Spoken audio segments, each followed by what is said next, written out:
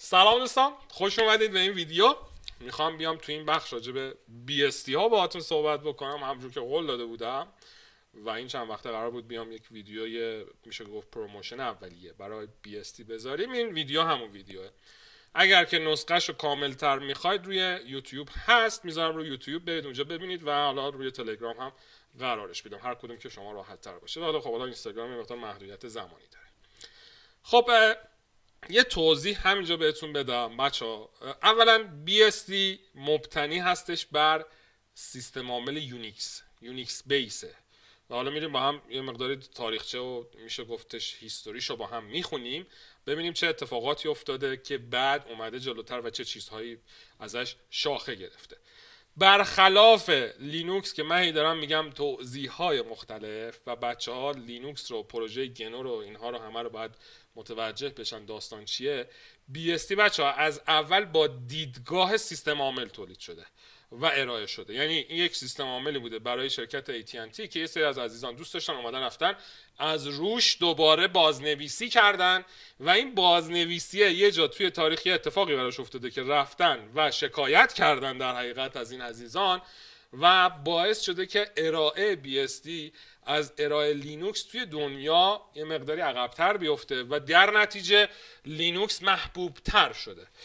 خب میگن اگر قرار باشه محبوب باشی دو تا گزینه رو باید داشته باشی. یا اولی باشی یا بهترین باشی. لینوکس خب اولی بود و یواش یواش هم تونست خودش رو بزرگ بکنه گسترش بده جامعه رو بزرگ بکنه و به جامعه خدمت بکنه. اون زیر هم BSD وجود داشت. بچه BSD برخلاف لینوکس برای دانشگاه برکلی یعنی توی یک پروژه دانشگاهی توی دانشگاه برکلی ایجاد شده و ارائه میشه و پشتش یک دانشگاهه در حقیقت. تصمیم گیری تو BSD مثل تصمیم گیری تو دنیای لینوکس نیست که یک نفری بخواد بیاد تصمیمی بگیره بگه آقا فردا یه همچین اتفاقی مثلا توی BSD حذف بشه. یا داشته باشیم یا نداشته باشیمش. این اتفاقاتی هستش که تفاوت‌های عمده داره توی BSD با سیستم عاملی مثل لینوکس. و یه نکته ای رو هم حالا توضیح لینوکس یا سیستم عامل لینوکس اینا حالا بعد این مقدارش بهش خودم هم کار بکنم. یه نکته بچه ها توی بی وجود داره اونم اینه. حالا این داستانی که هست توضیحات رو بهتون میدم. این لوگو بی این بیستیکیه. خیلی داستان های عجیبی داشت. اون زمانی که ما داشتیم باش کار می‌کردیم من از سال 81 دارم با بی اس تو ایران کار می‌کنم. و خیلی از بچه ها شاید اینو بدونن خیلی ها هم ندونن. من ام آبدینی هم در حقیقت توی اونجا و خب وبسایت همون داشتم مقالات.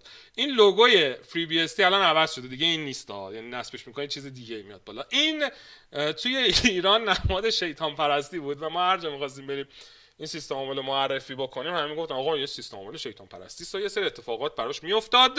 ولی خب حالا در کنارش یه سری حالا میپذیرفتن و خیلی جاها داره از BSD استفاده میشه استفاده خیلی خوبی هم ازش میشه feature های خیلی خوبی داره و به این راحتی هم نیست که مثلا شب بخوایم صبح پاشیم یه بخشش اضافه بشه کم بشه و یه نکته ای که همیشه ما توی BSD users توی BUG با لینوکس کارا کل کل می‌کردیم اون زمان این بود که بچه ها می‌گفتن command date توی سیستم عامل لینوکس یک package ه ولی توی میشه گفتش BSD بچه تو base system ه. یه سری استانداردها توی BSD اتفاق افتاده توی این سالها تغییر پیدا کرده که تبدیلش کرده به یک BSD 4 و 4 که حالا از اونجا زیر شاخه گرفته و بهترین BSD که شما می‌تونید بیاید باش کار بکنید. البته امروز بقیهش رو هم بهتون میگم FreeBSD اگر دوست داشته باشید من خودم reference ویکی رو بچه زیاد حال نمی‌کنم باهاش و ویکیپدیا به نظر من اونقدر جذاب نیست. اما این reference ی که دارم بهتون میگم روی ویکیپدیا راجع FreeBSD هست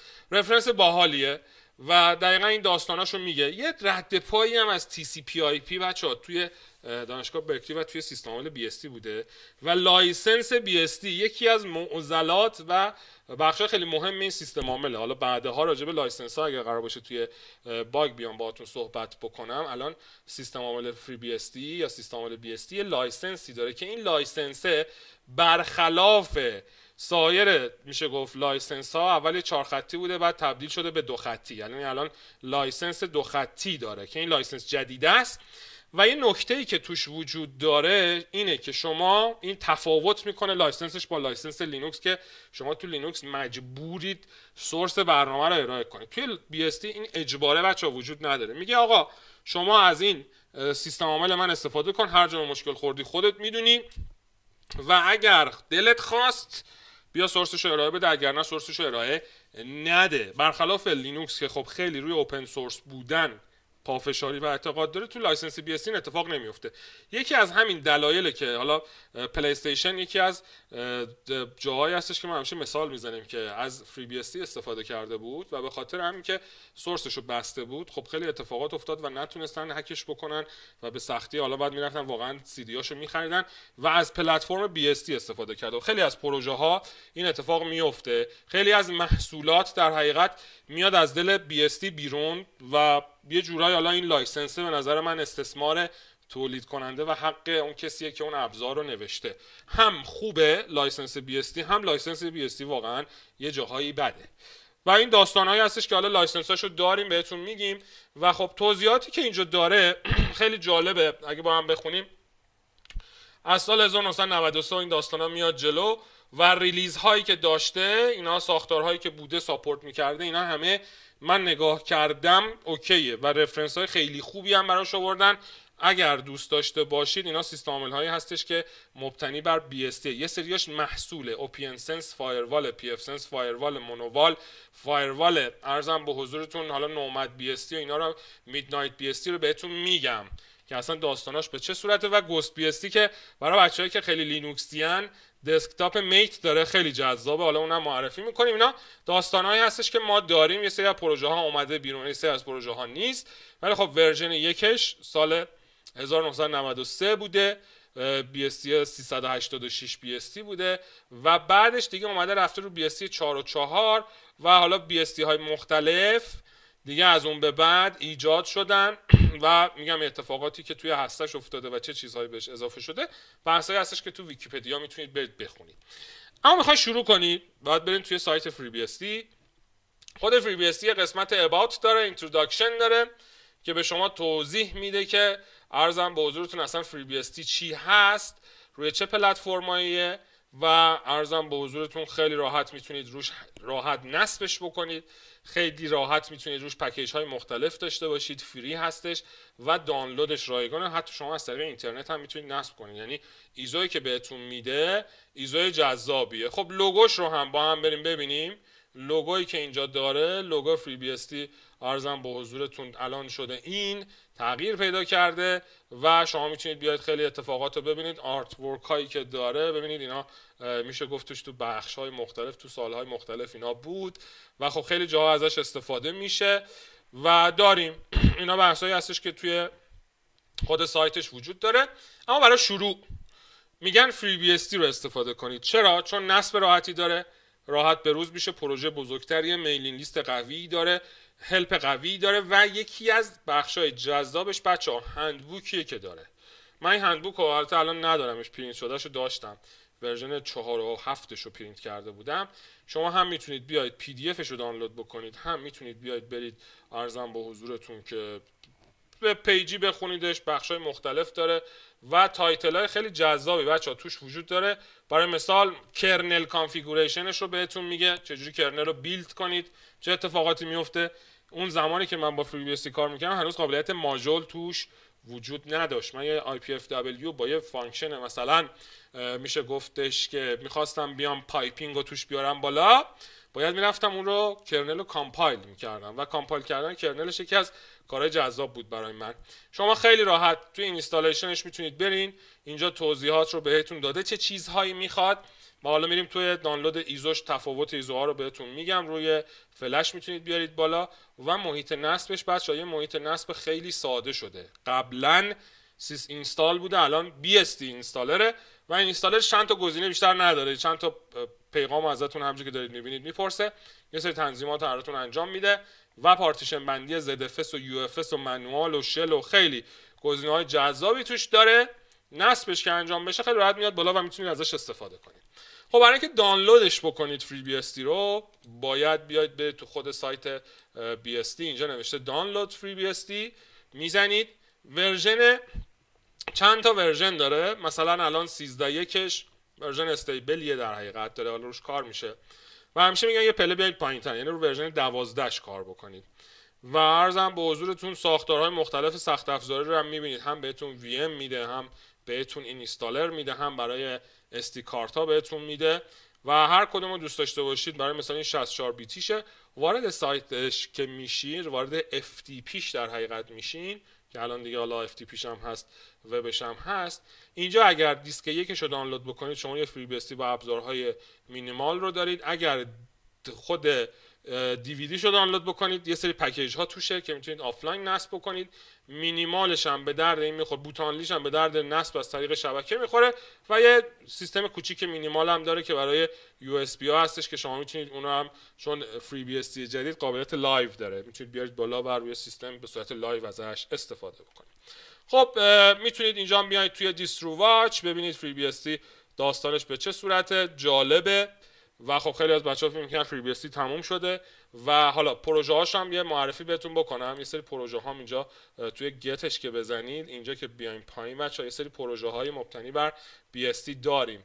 دسکتاپ BSD MidnightBSD NomadBSD و پروژه pfSense و TrueNAS جزو پروژه هستش که شما می‌تونید ازش استفاده بکنید. و تو handbook ش هم حالا سری توضیحات هست که بهتون میگم. پس این reference رو میبندیم این DistroWatch هم میبندیم دانلود FreeBSD رو هم با هم دیدیم چه اتفاقی میفته و خب این بحثایی بود که داریم. حالا اومدن یه سری از دوستان توی تیم BSD یه سری مشکلات امنیتی دیدن. رفتن سراغ اوپن بی اس تی اوپن بی اس تی بی اس امنه که حالا لوگوش هم این ماهی پفکی است که یه سری داستانه عجیب غریب داره. نصب ساده و خوبی داره حجم کمی داره kernel امنی داره سیستم عاملش دیگه انقدر مثلا این نیست. الان تو شما تو BSD الان 11 support داره 12 13 توی OpenBSD اینجوری نیست. هر 6 ماه دفعه release میده و تا دو تا release قبلی رو support می‌کنه. یعنی release ها از بین میرن در حقیقت. و دانلود کردنش میگم خیلی جالبه. یه installer داره یه ISO داره که تو پلتفرم های مختلف می‌تونید بیارینش بالا. اگر دوست داشته باشید اینجا تو قسمت نصبش ببینید یه قسمتی اینجا برای document ها manual page document و حالا artwork ها و یه سری song میدن. هر version ی که اینا تولید می‌کنن یه آهنگم باهاش میدن. یه MP می‌تونید برید گوش بکنید که feature ها و یه اون داستان OpenBSD رو براتون میگن. یه سری پروژه های جذاب این زیر اونا رو الان براتون معرفی می‌کنم. و اینجا شما می‌تونید بیاید راجع به about ش بخونید hardware platform اش بخونید.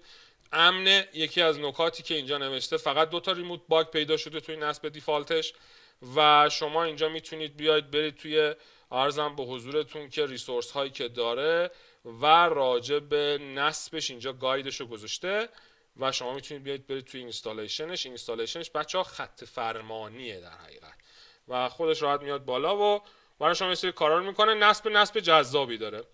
اما پروژه OpenBSD میشه گفتش یکی از افتخاراتش OpenSSH یه که الان هممون داریم استفاده می‌کنیم زیر گذاشته پروژه ها رو می‌زنید و OpenSSH یا همون SSH معروفی که هممون داریم استفاده می‌کنیم داخل پروژه OpenBSD host شده و اینجاست که اصلا به روز میشه develop میشه و آخرین version اول رو OpenBSD میاد میره اون بعد میاد میره تو سراغ سیستم های دیگه.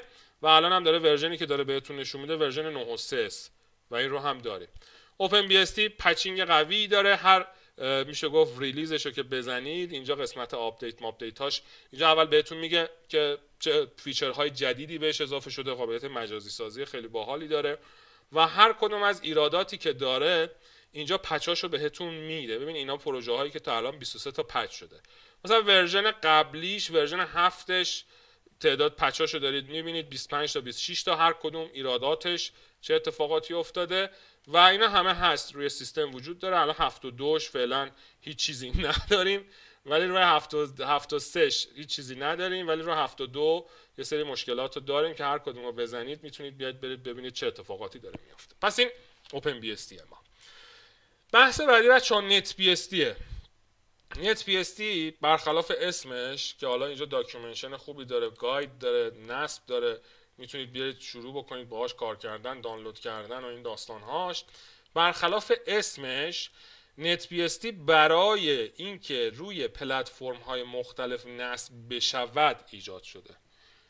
یعنی اصلا دیدگاهش دیدگاه شبکه و اینا نیست. قابل شبکه داره ها ولی برخلاف اسمش که همه فکر می‌کنن که net ه من خودم اون اوایل که NetBSD باهاش آشنا شدم همچین حسی بهش داشتم. ولی رو پلتفرم های مختلف نصب میشه. شما که می‌خواید برید دانلودش بکنین. بیایم اینجا. ببینید توی ساختارهای مختلف. و این لیستی که حالا داره ببخشید بذار بیام این ور. release note هایی که داره و میگم پلتفرم هایی که شما می‌تونید برید نصب بکنید زیاده. یه قسمت جذابی که توی NetBSD داریم pkg شه که خب خیلی پروژه جذابیه. به شما کمک می‌کنه که package ها رو حتی تو Solaris نصب بکنید. wiki داره manual page داره guide داره. و عرضم به حضورتون که اینجا حالا راجع به event ها اینا هست. BSD خیلی خوشگل خوبیه و شما می‌تونید ازش استفاده بکنید. اینجا هم راجع به release note اش ببینید توی چه اتفاقاتی افتاده چه پورت توش ایجاد شده. و عرضم به حضورتون راجع به about و خود راجع به پورت رو ببینید بچه اینجا بهمون میگه که چه پلتفرم هایی رو support می‌کنه. این همه ساختار CPU رو support می‌کنه. Sun دو Sun سه VAX اینا ساختارهایی هستن که شما داخلش برید می‌بینید که NetBSD روی اونها هم نصب میشه. DragonFly BSD بعدیه. BSD نسل جدیده. یکی از افتخاراتش file system HAMMER ه. برای big data این داستان ها و ساختار CP جذابی داره. کمتر ازش استفاده میشه. تقریبا میشه گفت همون FreeBSD خودمونه ولی با این feature هایی که بهتون گفتم این هم تکنولوژی جذابی داره. می‌تونید واقعا ازش استفاده بکنید و خیلی اتفاقات خوبی میفته. ببین اینجا راجع به file system HAMMER ش توضیح داده. اما برای کسایی که علاقه دارن می‌خوان بیان چیکار بکنن؟ می‌خوان بیان گرافیکی BSD رو سیستمشون داشته باشن. سه تا پروژه وجود داره. یکی NomadBSD که اینجا حالا اگر ما اینجا اسکرین شاتش رو بریم ببینید NomadBSD یه همچین اسکرین شاتی بهتون میده و خیلی راحت می‌تونید دانلودش بکنید نصبش بکنید live داره می‌تونید روش های انتقال حالا ISO شو داره توضیح بهتون میده location اش و اینا پروژه جذابیه. اگر که خیلی دوست دارید می‌خواید یه BSD سبک داشته باشید GhostBSD خیلی خوبه. و اسکرین شاتش هم دارید می‌بینید دانلودش و documentation ش و اینا همه هست. MidnightBSD خودش رو خیلی با desktop Mint در حقیقت داره join می‌کنه و عرضم به حضورتون که اینجا اسکرین شاتش رو اگر نگاه بکنیم اسکرین شات های خیلی باحالی باید داشته باشه و این هم میگم قابل دانلوده. ببخشید این داستانی که داریم بذار برم تو دانلود GhostBSD release ها و version ها و این این مثل مثل دقیقا داره مثل Mint میشه در حقیقت. Linux Mint یعنی desktop Mint داره. release اش اومده 22 6 و این داستان ها. خوبه. روی سیستم خیلی راحت می‌تونید نصبش بکنید. 4 گیگ رم می‌خواد 15 گیگ فضا می‌خواد. داستان جالبیه. Midnight هم داریم. و عرضم به حضورتون که به نظر من Nomad خوبه و GhostBSD رو می‌تونید به عنوان BSD های desktop ی رو سیستمتون داشته باشید. pfSense رو داریم. حالا TrueNAS و اینا رو بعدا همه رو معرفی می‌کنم بهتون. مدرک داره بچه ها مدرک بین المللی داره. من مدرک بین المللی BSD رو گرفتم. راجع مدارکش هم بعدا باهاتون صحبت می‌کنم. اگر دوست داشته باشید توی کتاب راه من کتاب FreeBSD رو گذاشتم براتون. می‌تونید برید اونجا. این کتابیه که مال خیلی وقته و داریمش و اینجا. حالا اگر برید توی محمد عابدینی pfSense هم, هم هست. می‌تونید این کتاب رو دانلود بکنید و حالا هم لینک مستقیم داره هم اپلیکیشن داره. می‌تونید این کتاب رو دانلود بکنید بخونید و این کتاب در حقیقت مجموعه مقالاتی بود که من قبلا راجع به Free نوشتمش و اینجا داریم می‌بینیم. ببینید اینجا نسخه PDF ش رو گذاشته. پی دی افش اگر که اینجا دانلود نشد اینجا کلیک می‌کنیم. و جالبه. کتاب جالبیه توی زمین زمینه فری بی و این سرویس هاشه من سرویس دی و نمی‌دونم فایل زونا و حالا همه جا, همه جا داره دانلود میشه. راه اندازی سرویس FTP ببینید اینا داستان های اکتیو و پسیوش و اینا همه رو من برای شما عزیزان گذاشتم. کتاب پی اف سنس هم, هم هست اگر دوست داشته باشید می‌تونید برید اون رو هم ببینید و عرضم به حضورتون که اینجا نیست. کتاب پی اف سنس هم, هم بذارید اینجا من برم براتون بیارم. اونم کتاب جذابیه خودم دوستش دارم. و اینم دقیقا همینه. می‌تونید دانلودش بکنیم. میایم پایین تر. یه ذره پایین تر. اینم یه چیزی هلوهوش میشه گفتش بعد فکر کنم یه صد خورده دیوی صفحه باشه. اینم می‌زنیم برای دانلودش. اینم کتاب pfSense ه که خیلی جالبه. من خودم دوستش دارم. 179 صفحه است. به شما دوستان عزیز تو زمینه pfSense خیلی کمک می‌کنه. نصب برنامه هاشو نصب اپلیکیشن هاشو اینا رو همه رو توضیح دادم. پس این بخشای هستش که شما عزیزان می‌تونید فعلا برای شروع تو دنیای BSD ازش استفاده کنید. خیلی توضیحات بیشتری وجود داره. حالا یواش یواش همه این سیستم عامل ها رو براتون نصبشون رو میرم. کارهای اولیه‌اش رو انجام میدم. امیدوارم که مورد توجهتون قرار گرفته باشه. اگر سوالی هم تو این زمینه دارید توی تلگرام می‌تونید به من پیغام بدید. شماره تلفنمو تو تلگرام برای شما عزیزان گذاشتم. و از اینکه تا اینجا ویدیو دیدین از شما تشکر می‌کنم. تا ویدیوهای بعدی تو این زمینه شما رو به خدای بزرگ میسپارم بچه ها موفق باشید.